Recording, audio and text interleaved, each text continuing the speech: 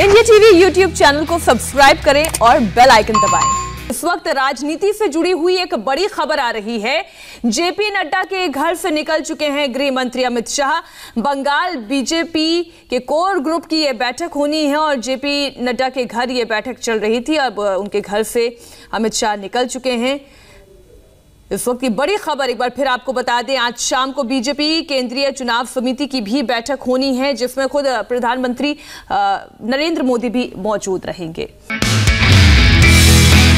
नमस्ते, मैं हूँ मीनाक्षी जोशी। वीडियो और खबरों से अपडेट रहने के लिए India TV YouTube channel subscribe करें, बेल आइकन दबाना ना भूलें। जुड़े रहें इंडिया टीवी के साथ।